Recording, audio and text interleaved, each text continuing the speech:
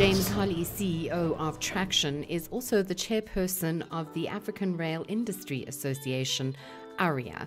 And we take a moment just to talk about the progress, specifically open access. Yeah, I think some really encouraging stuff. Absolutely outstanding support that we have received as ARIA for our, our study into the practical implementation of third party access, and that's from various uh, spheres of government. Uh, I think what we're all sort of most enthused about is that Operation Vulindlela, which is obviously the partnership between National Treasury and the Presidency to oversee the implementation of structural reform, has identified third party access as one of the priority projects that they are driving from their side. So I feel really enthused by that. Um, you would have seen that Operation Vulindlela was widely quoted as being behind the um, and supportive, advising on the move, on the increase of um, self-generation from one megawatt all the way up to 100 megawatts. So they do seem to be making real inroads into this implementation of structural reform in South Africa. So, you know, we've been enthused by that. And then from the various line ministries, we're getting absolutely wonderful support. So, you know, I, I think it's a, it is a tremendously exciting time for the railways in South Africa. The, the membership of ARIA has absolutely exploded over the course of this year.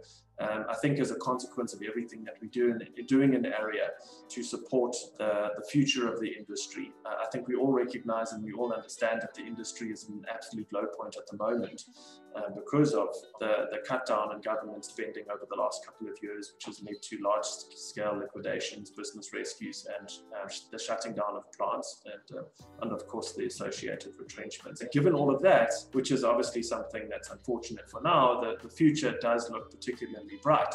And we just hope that um, we can um, implement this uh, structural reform in a sort of uh, well planned, well thought through, but timely manner. If there's any information that anybody out there that's a rail stakeholder would like to understand more about the structural reform that the South African government has planned and uh, you know, in, in Operation Vulindlela, there are a few priority projects. There's um, there's the implementation of the draft white paper on national rail policy, there's third party access, and there's the branch line concessions.